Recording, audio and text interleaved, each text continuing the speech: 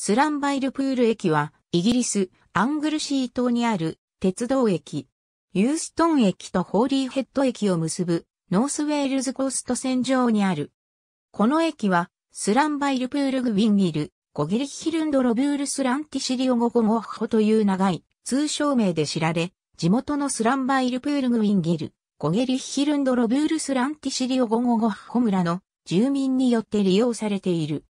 この通称駅名及び由来となった村名は、19世紀末に町の評議会が観光の売りとして独自につけたもので、ネットワークレールによる公式の駅名ではなく、あくまでも正式に登録されている駅名はランフェルプエルである。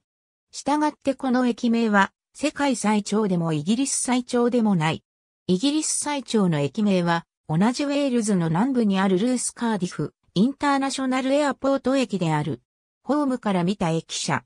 本駅はリクエストストップであり、車掌、または運転手に合図を送らないと止まってくれない。